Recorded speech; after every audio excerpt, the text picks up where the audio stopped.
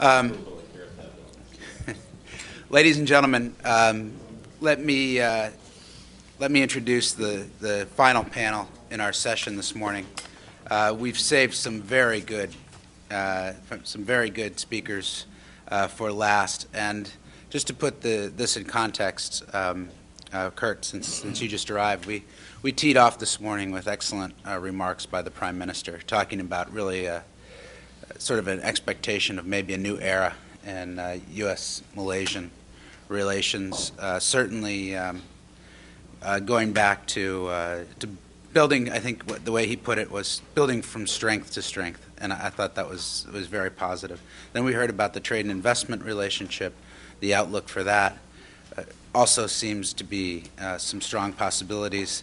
We had a real treat from from the general just now and, and Mike Green talking about the the history of the U.S. Malaysia security relationship, and it's, it's a great reminder of, uh, of how close how closely we've worked together. And this panel uh, will will look at uh, U.S. Malaysia security cooperation and the relationship looking forward. And we're we're honored uh, indeed to have a, a good friend, um, Admiral Anwar, who is the uh, chairman uh, former chief of, of, of, the Malaysian Armed Forces. He's a Navy man. Uh, he's an incredible athlete and um, is sort of one of these Renaissance men that quietly lead Malaysia uh, in, in a very competent way. And it's, uh, I've had the honor to work with him uh, also in the private sector. He's the chairman of the Armed uh, Forces Fund Board in Malaysia, which is a very active and investor in Malaysia. Um, and we're also joined as by someone uh, all of you in Washington know well, all of you in Malaysia know well, uh, Kurt Campbell. He's the Assistant Secretary for East Asian and Pacific Affairs. Also, uh, one of the most proactive, uh, interested policymakers uh, in that we have in the United States. Uh, really providing great leadership on the relationship, not only with Malaysia and ASEAN, but throughout East Asia. So we're, we're deeply honored that, that both of you gentlemen could join us. We've uh, given the honor uh, to to tee off uh, to uh, to uh, Tan Sri Anwar. So please, Tan Sri, the floor is yours. Yeah. Uh, thank you very much, uh, Dr. Ernest Bower. first of all, let me say thank you very much for inviting me to this CSIS, and also thank you for ISIS for inviting me to come back to Washington, D.C. I remem- remembered four years ago I was here, uh, but the same discussion uh, uh, we did was in Pentagon with the chairman of Joint Staff, uh, General Pete Pace, my counterpart. Uh, we discussed a lot about uh,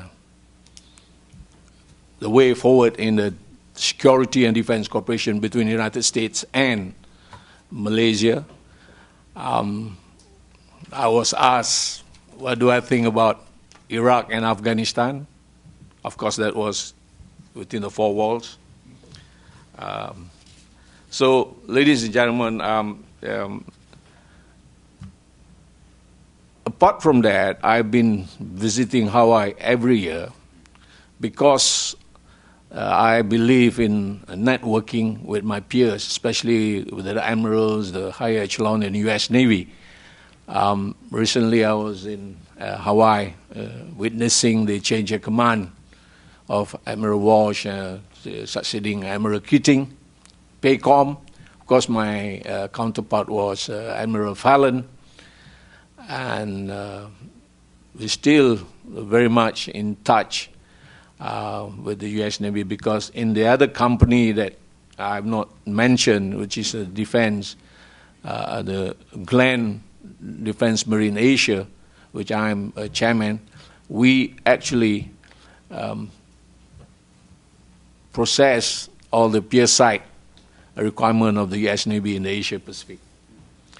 Um, so, ladies and gentlemen, um, uh, certainly um, we have heard uh, how historically, uh, Malaysia has always been a steady and reliable friend of the United States military.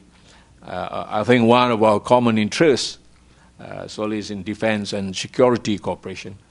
Undoubtedly, the uh, emergence of various issues uh, has brought about greater challenges in the defense and uh, security environment. Therefore, uh, today, uh, I would like to point to a few areas and, and explore, as, as a subject matter would want us to do, um, some of the interests um, and challenges in the regional security architecture. Uh, the US and Malaysia certainly share common and uh, a few areas of possible cooperation or actions in our relationship that, uh, in particular, represent the unrealized potential.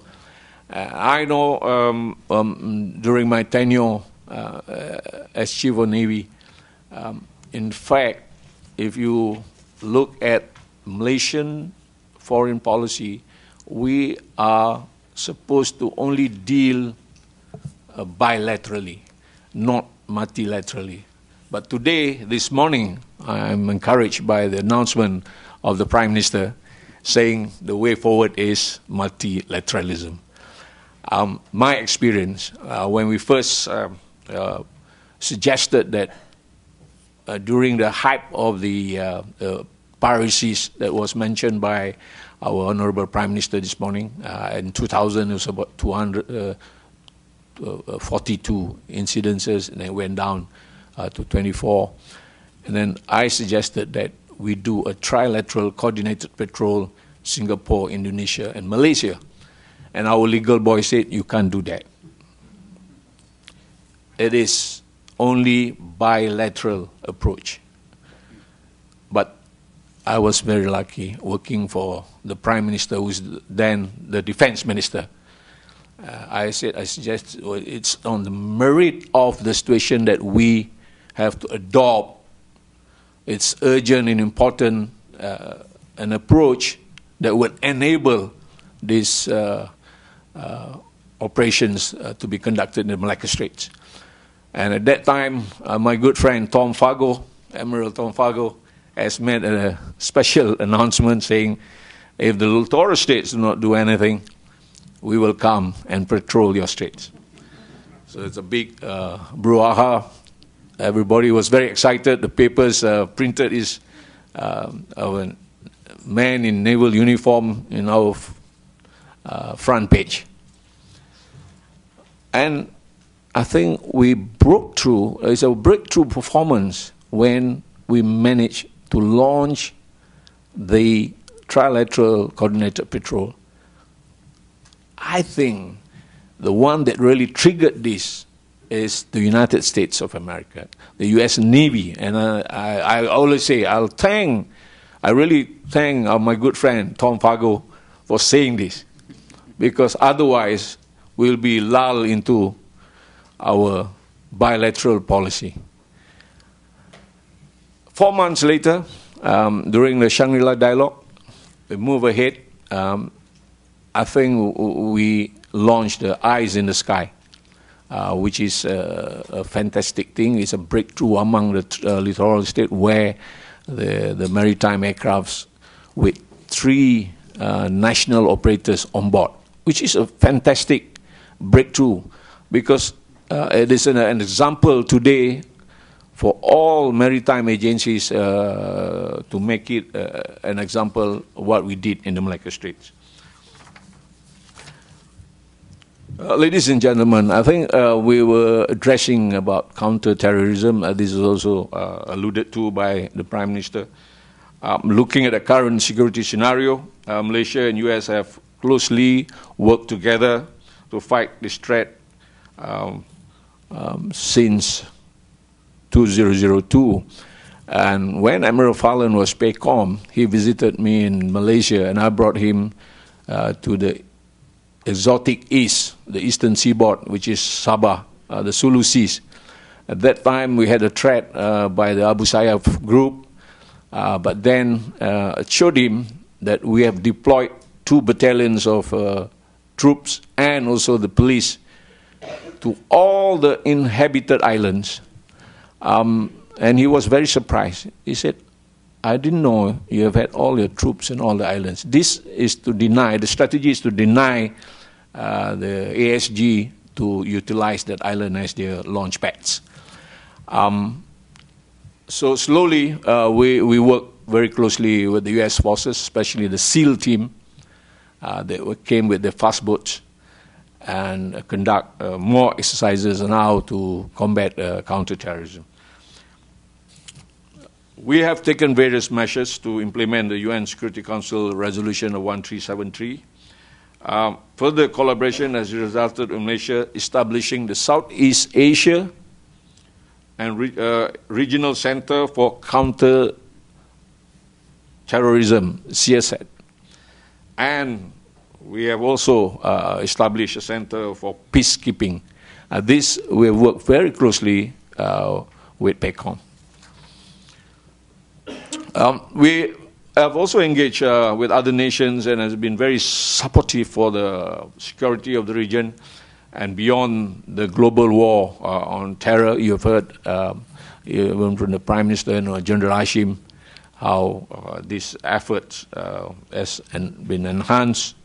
Um, and again, um, he did alluded to the U.S. government approved some fund under the initiative FY 1206.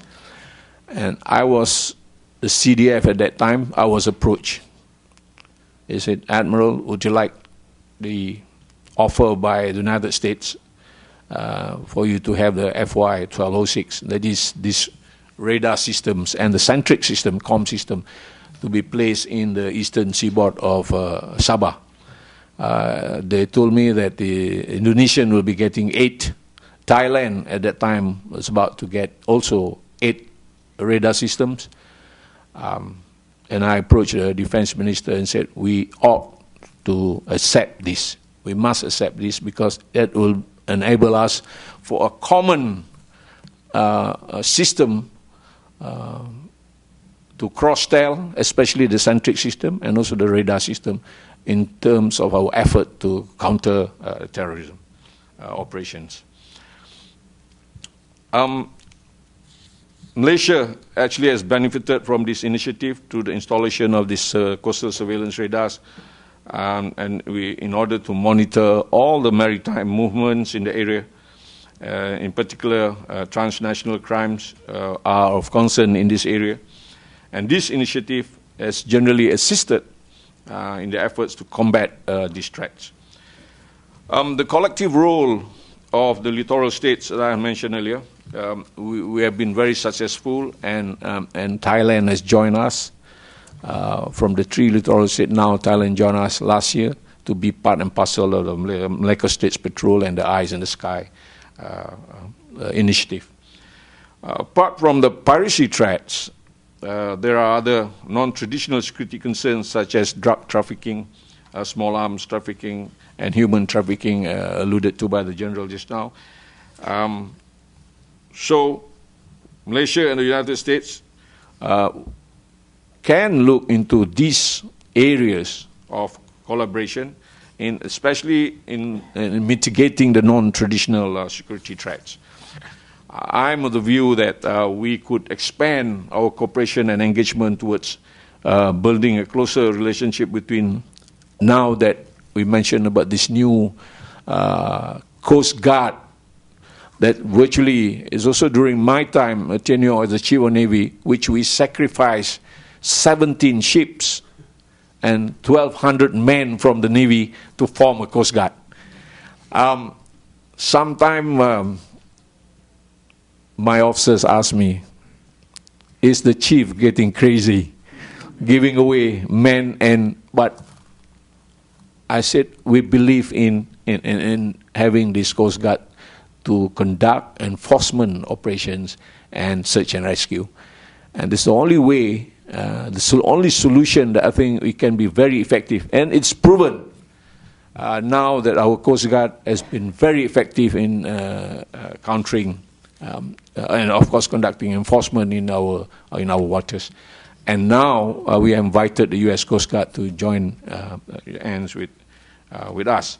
But in BITEC, that was mentioned by General Hashim, BITEC the U.S. Coast Guard is a member, but not our Coast Guard. I think efforts uh, been made to propose that our Coast Guard will be part and parcel of the BITEC uh, arrangement. Um, humanitarian uh, assistance and disaster relief. Um, the Prime Minister alluded to about the tsunami and how uh, we are poised to assist in these uh, sectors. Um, issue of human assistance and disaster relief is becoming big uh, in the region. Uh, we have uh, participated and, and provide provision of human humanitarian assistance um, and with our experience in 2004 uh, after the tsunami, I think our arrangement with the U.S. is getting stronger. Um, what we have done is now uh, the World Food Program um, uh, will set up a hub in Kuala Lumpur. Uh, we are moving to that humanitarian leave hub under the World Food Program which will see the development of regional warehouse to store food, uh, supplies, medicine, and other basic amenities. Uh, as you recognize, during the um, uh, tsunami, we allowed the use of our airports. Uh, the U.S. Uh, used the Langkawi airstrip, the Australian the Butterworth airstrip, and French and all the rest in in the Subang uh, airstrip.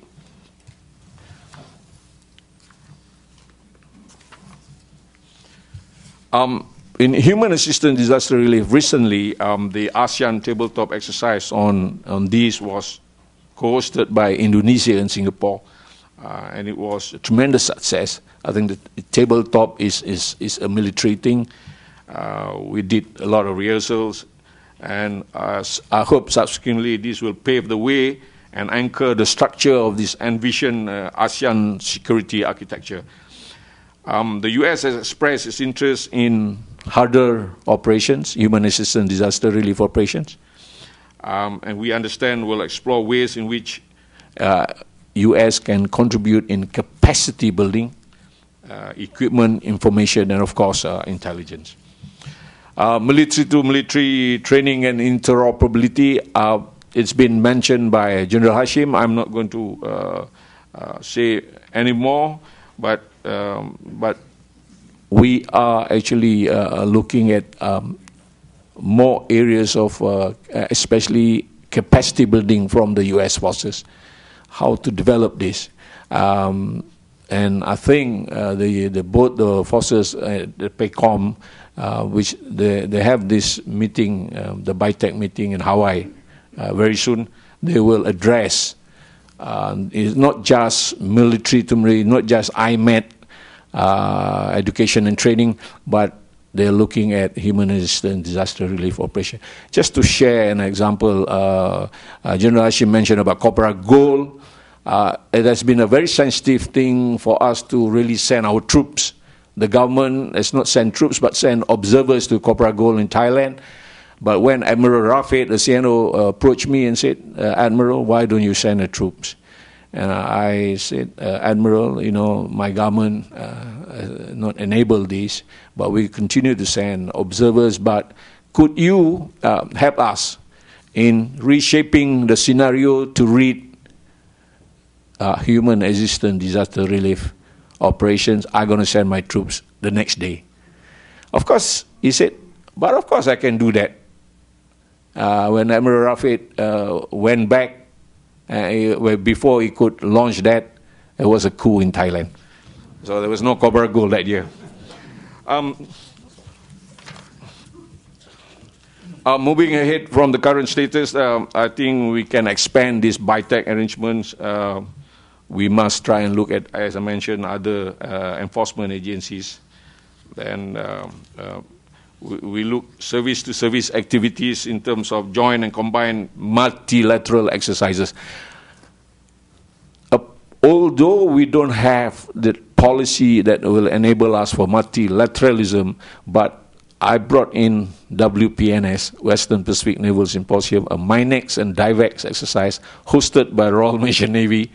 Uh, uh, it's also another breakthrough from our uh, uh policy uh, it was done. Um, and uh, again, we brought in uh, a, a, very a big conference with all the chief of defense forces. There were 17 of them in Kuala Lumpur uh, at the Sheraton Imperial.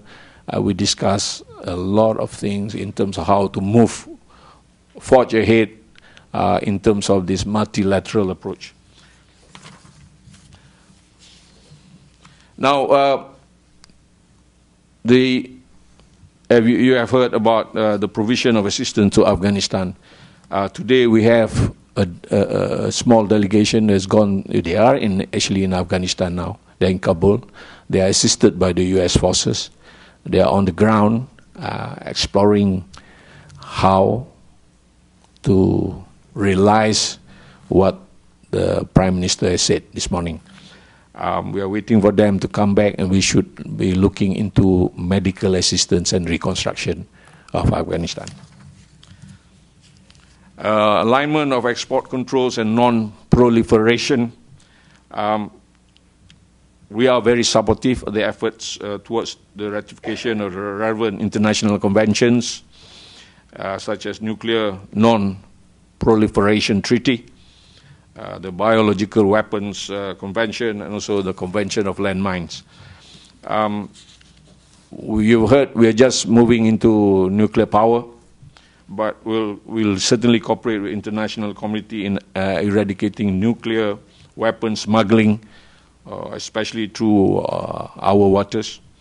Uh, this includes the support for the proliferation of PSI security initiative.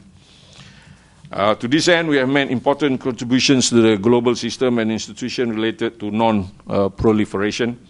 As an example, Malaysia is, product, is, a productive member of the Asia Pacific Group on uh, Money Laundering Financial Action Task Force style regional body committed to the effective implementation and enforcement of internationally accepted standards against money laundering uh, and the financing of terrorists. Uh, ladies and gentlemen, I could continue to give more examples of the excellent states of uh, uh, bilateral relations between our two countries, but suffice to say um, that the strong bonds of friendship and networking uh, between uh, the higher management between both forces, or based on the basis of shared values and principles, have enabled our two countries to expand our security and defense cooperation. Um, with that, ladies and gentlemen, I would say thank you for your attention. Thank you very much.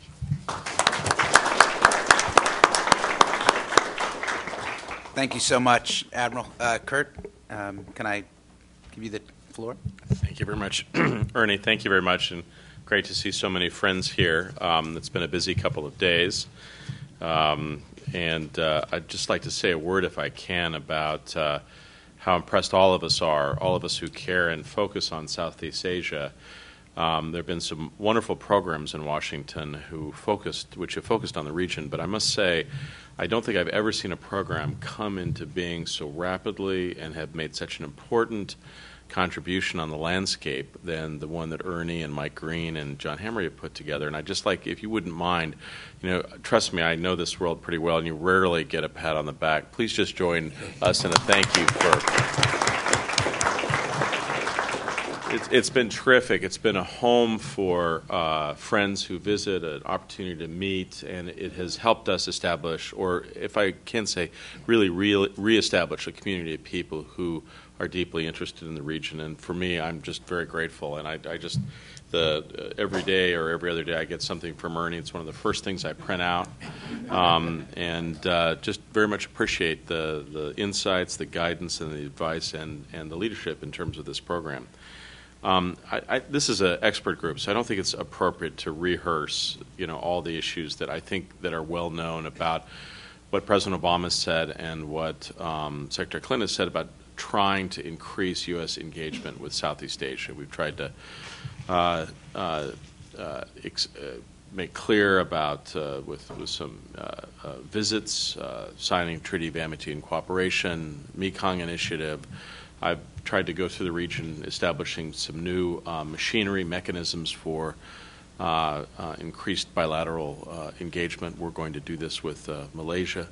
Uh, uh, invitations uh, to the nuclear summit. We had the largest number of Southeast Asian friends visit for such an effort in um, in history, uh, a variety of things, and also, I think uh, most importantly, have taken the first tentative steps uh, on issues related to trade. This is an issue that most friends in Southeast Asia and Asia will say, It's great to see you. We welcome you. Thank you very much. But uh, ultimately, uh, they're looking to the United States to um, regain its confidence, to feel confident in dealing on economic and trade issues in the Asian Pacific region. I think that's very much in our interest, and we welcome and support the encouragement that we've re- received from uh, Asian fr- uh, ASEAN friends.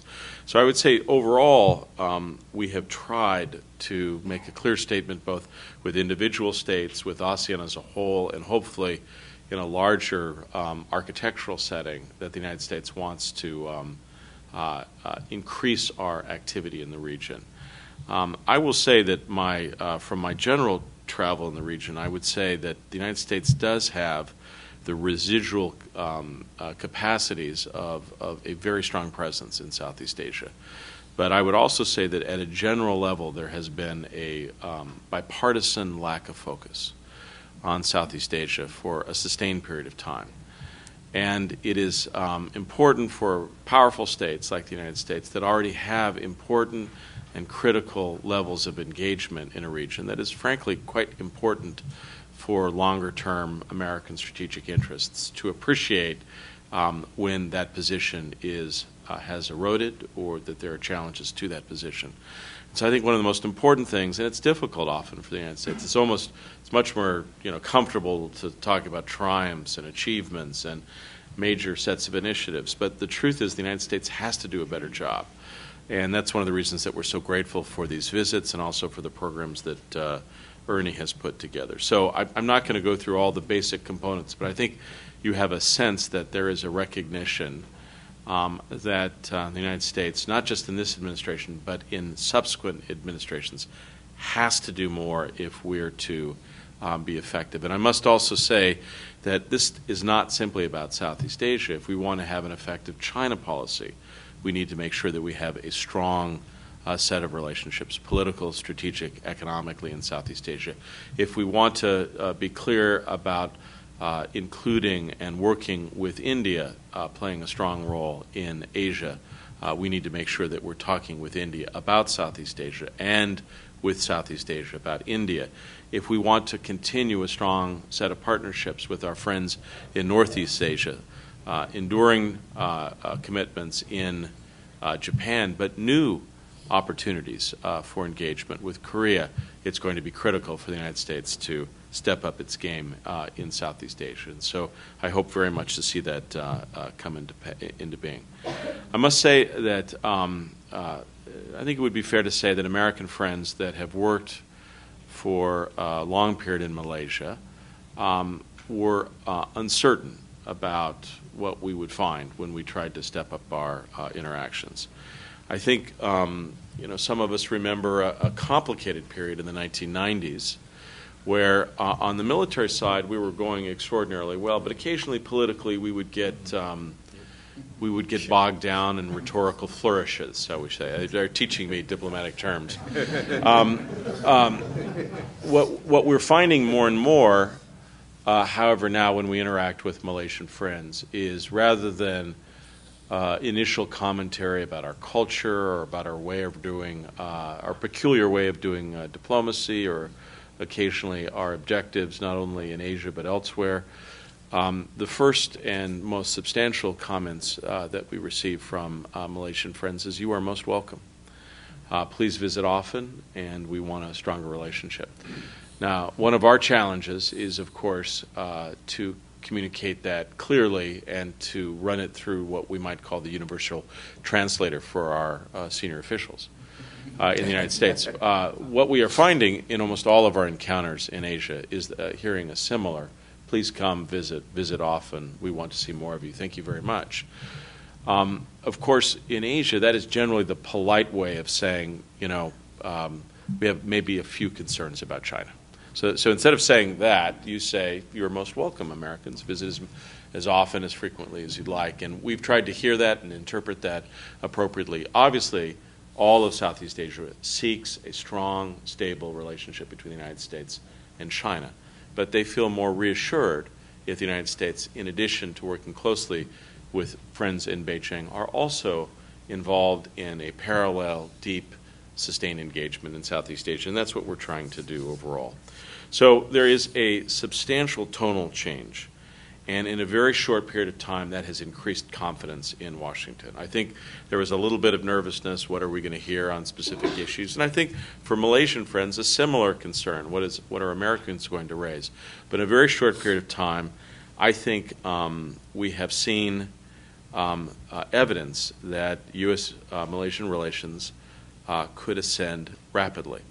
Now, the, the truth is, we have to be careful. I liked Ernie's statements about, you know, take off and I, I, I want to be more careful than that because I'm, I'm learning that at the State Department. It's a hard thing for me.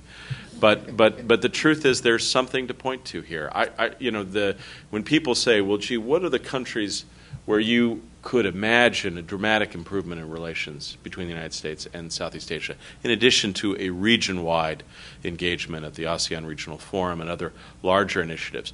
People generally point to either Indonesia or Vietnam. And there is good reason to expect and hope for those relations to improve rather substantially. But I will also say there are sometimes forgotten, sometimes overlooked, sometimes somewhat disguised, some very powerful component elements in U.S. Malaysian relations that should give us some confidence about the ability to take off. So, for instance, behind the scenes has been an extraordinarily robust uh, military defense relationship much more so than people recognize, much deeper between the United States and Malaysia than anything we have between Indonesia for obvious reasons and Vietnam. Now, we do not talk about this relationship in public, we just go about doing the business of it in private. But it's deep.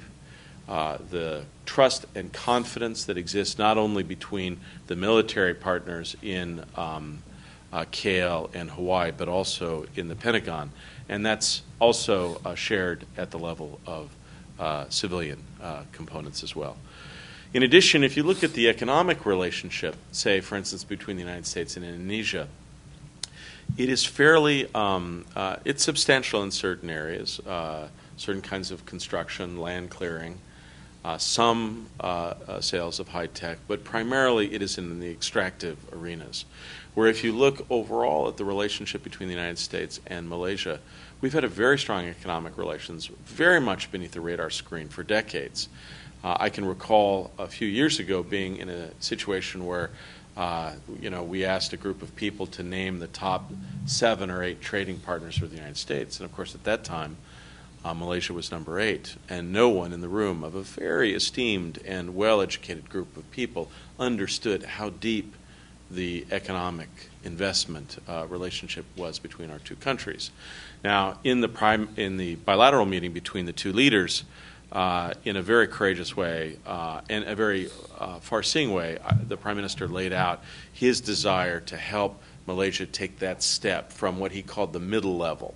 Um, to the next level and what would be needed in terms of investment and commitments. And he saw that as a multi uh, a decade uh, set of challenges, but essential if Malaysia is to maintain its current path and uh, uh, uh, course of potential over the course of the next several years, and given the very real economic challenges from others in the region, and particularly uh, in China. So I simply mention this by, by saying that, that, that um, don't count uh, this relationship out. Don't focus too much on the United States and Indonesia or the United States and Vietnam. Those are important relations. But I, I, must tell you, I hope when we have subsequent meetings in the next couple of years that we will surprise people. And in many respects, one of the things we learn in uh, Asian politics, and we get this from our Japanese friends, is sometimes it's not effective to be the one that's out in the spotlight. Sometimes you can make a lot of progress by by making progress quietly. And I think you're going to see that in U.S. Malaysian relations.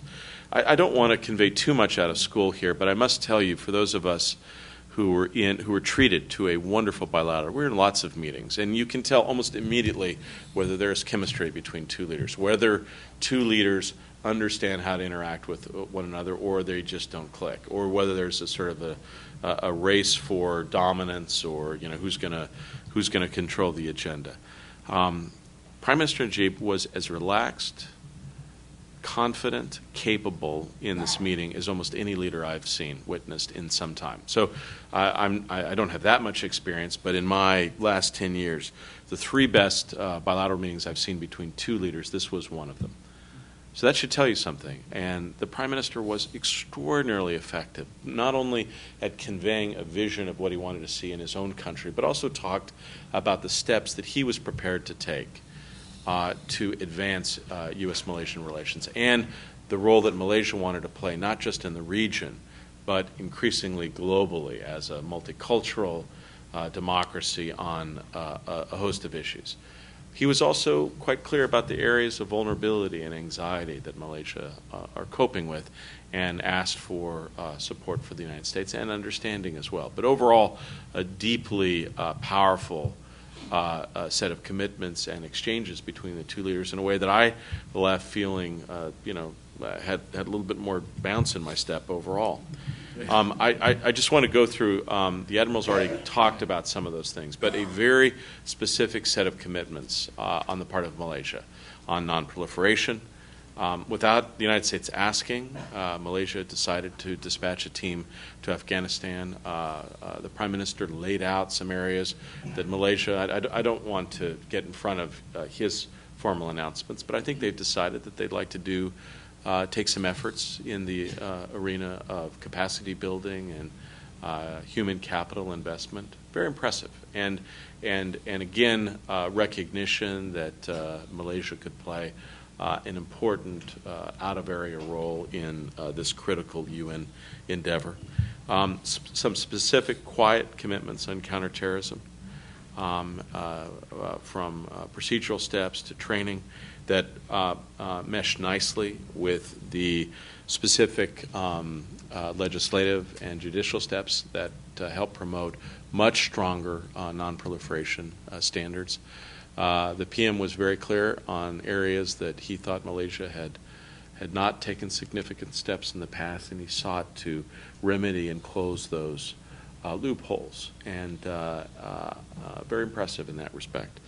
We also talked uh, substantially about the defense relationship, and I think he too under, understands that this has been, in many respects, the backbone of our relationship. And I think his desire is to spread the culture of that cooperation to, shall we say, other elements of the Malaysian government.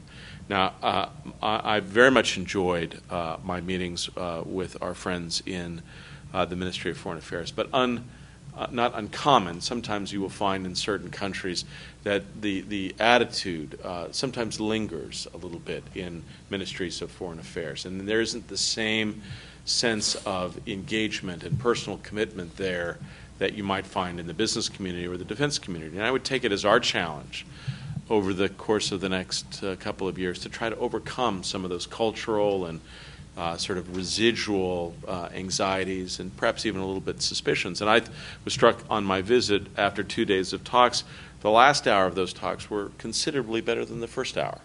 And we hope to uh, continue that so that it's not simply in certain pockets of the of the Malaysian government, but basically uh, in the prime minister's office and other parts of the bureaucracy, a general consensus that it is the interest of the country to move forward on a stronger relationship between our two countries.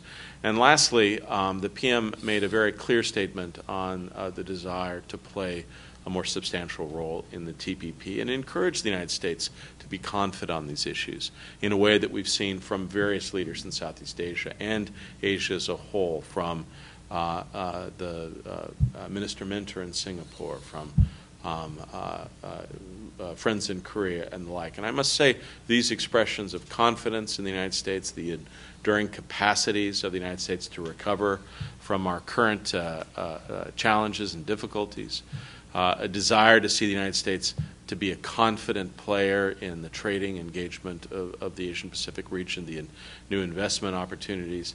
Uh, it's, most, it's most welcome, and it gives us a sense of confidence that, that others uh, see this and the role that we could play, but some specific ideas on TPP. Now, um, I conclude, uh, Ernie, just two last things. L- let us also be clear that the two sides tried not to avoid the issues on which there will be continuing uh, uh, uh, discussions, perhaps some difficulties and challenges. And I think any good relationship um, is able to deal with those issues. I saw in the meeting between the president and President Hu that you know the United States and China has had to deal with some very challenging issues over the course of the last couple of months. I think there is a uh, strong desire on the part of our Malaysian friends to see the United States play a more consequential role in trying to bring peace in the Middle East. And so the fact that Malaysia has a, in, in, in their perspective, a very purposeful commitment uh, to these issues is something that the United States must uh, take seriously. And we recognize that there is a global uh, uh Islam now that not just focuses on their own backyard, but on issues of what they consider uh, justice and uh, peace beyond their borders. And so that was made very clear to us. And from our perspective, um, we, um, we uh, cherish and uh, support uh, the general uh, uh, process of democratization inside, uh, inside the country. We, we occasionally have some anxieties about the role of Islamic law, how it is applied with, with the Malaysian Commonwealth law, Commonwealth law and, and how these two sort of secular uh, and uh, religious trends uh, in, in the country can be reconciled. And uh, we watch that carefully. Um, we want very much for a uh, benevolent, um, open, engaged, traditional form of Southeast Asian Islamic uh, worship and philosophy to continue to be the dominant trend inside the country. And occasionally we see some signs that concern us. I also, uh, in our meetings, um, uh, we must say, and I think it's well known to all of you, um, uh, uh, Anwar has many friends in the United States, very high level friends, people who care about him. And we want very much for his treatment to be just, and um, we are watching carefully in this regard. And so the fact that we were able, I think, both to talk about the issues that we're closely aligned, but also issues uh, of some challenge without getting our feelings immediately hurt and saying, well, that's it, I think is a tribute to uh, growing maturity in the relationship as a whole. Now, going forward, Ernie, I would just say there are, in addition to these five areas, which are the dominant areas, they are the backbone of the relationship. They are the areas that we are going to put substantial effort and focus on. Um, uh, we've also seen uh, Malaysia step up in a very exciting way on climate change, not just in limiting um, uh, uh traditional emissions, but also looking at questions associated with forestation. Um, some of Malaysia's commitments are as robust, far reaching, and uh, um, uh, almost game changing as any country in the world. And the PM was able to discuss and talk about these issues in, a, in an extraordinarily nimble uh, way, in, in a way that many other leaders cannot. Um, Malaysia has also played a very important role on thinking about next steps on architecture. And I must say, in, in stark contrast to the 1990s, um, where there was some ambivalence about the United States, far from it now. The question is the terms, the appropriate mechanism about how the United States can and should be a more active member in this next phase of multilateralism. I think it is all uh, well understood that the 1990s was primarily trans Pacific. Lots of institutions in which the United States played a more important role APEC, ASEAN Regional Forum. I think the last decade was one in which much of the action was uh, pan Asian. Um, and, and the United States perhaps wasn't as actively involved as we might be. And I think the next phase, we want to see a role in which both the United States but also other critical countries like India are more actively engaged. And how we do that and try not to be in a situation where we overpromise and underdeliver. And I must say, um, quite honestly here, you know, um, it's very easy in when you're out of government to talk about canceled meetings and missed summits. But the truth is that the president has been in power uh, only a year uh, year and, and a couple of months. He's made very clear he'd like to do a better job of engagement, but we've had to post- postpone two trips. This is just the nature of how challenging um, these jobs are and how difficult it is for chief executives to be able to find the time uh, to uh, ensure the proper level of engagement. We want to be careful that we do not overpromise and underdeliver, but I think Malaysia in particular, working with other countries in Southeast Asia, have communicated to us their desire to have us more actively engaged, whether it's in the East Asia Summit or some sort of configuration of ASEAN plus 150, whatever the new group is, I'm not sure. um, uh, I think that would be important.